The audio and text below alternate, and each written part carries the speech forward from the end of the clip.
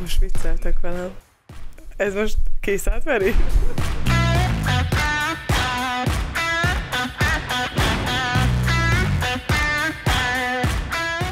Húha, lehet más kellett volna választanatok a csapatból.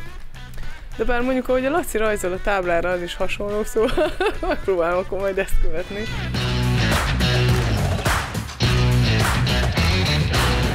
Hát az ezüstérmet fogom lerajzolni.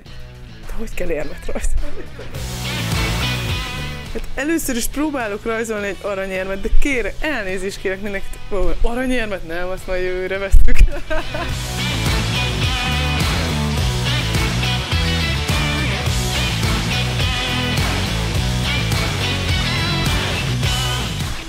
Nem, hogy lerajzolni nem tudom, még egyszer megmutatni nem tudnám, mert mondjuk volt egy olyan emlékezetes pillanatom a Szexár meccsen, hogy innen mentem, innen megindultam a pálya elejéről, és úgy dobtam egy ilyen, ilyen zicsert, hogy ide kiestem a pálya szélére.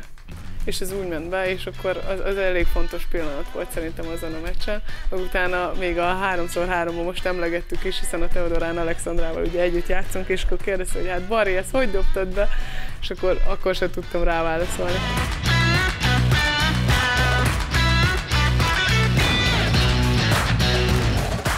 és mindjárt lerajzolom még Lacit a pályaszínén.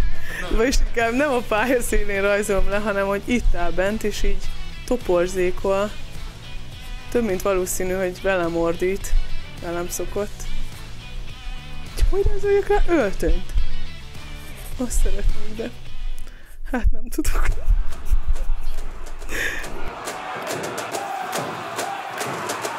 Elnyertük a közönségnek a bizalmát is, és ez nagyon jó érzés volt, és nem véletlen, hogy nő lett ez az eredmény, hiszen ezt nélkülük nem tudtuk volna megcsinálni.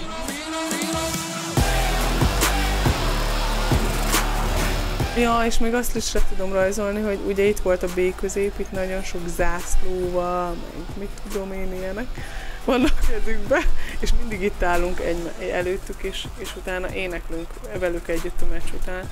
Ez nagyon-nagyon jó érzés. Sőt, ők még oda szokták adni a zászlót, mondjuk a Torinak, és már lassan szerintem jövőre meg fogja tanulni a, a, ezeket az indulókat is, mert már közel állnak hozzá, de a ritmus már nagyon jól tudják.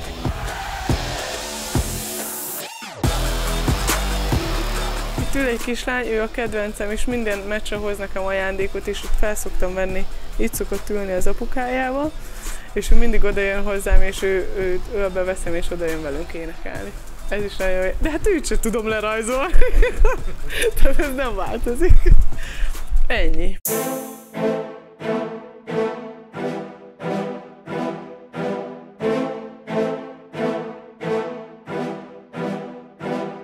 Nagyon-nagyon örülök neki, hogy, hogy együtt maradt a csapat. Szerintem ez a, az egyik kulcsa itt a, a jövő évnek, hiszen, hiszen nem az elejéről kell kezdenünk majd az építkezést. Szoktak lenni közös céljaink, amit azért nem nagyon szeretünk így hangoztatni, ezt, ezt azért megtartjuk magunknak, de, de nyilván azért is maradtunk így együtt, hogy, hogy egy kicsit fényesebbre cseréljük ezt az érmet, valamint, hogy a, a nemzetközi porondon is tovább tudjunk jutni.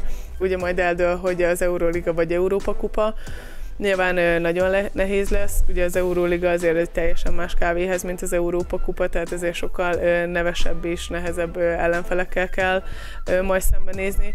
Meglátjuk, hogy, hogy mi lesz a vége. Én nagyon bízom abban, hogy sikerül megnyernünk a Velencével szembeni párharcot, de akkor egy 14 meccsesnek nagyon-nagyon kemény sorozat vár majd ránk.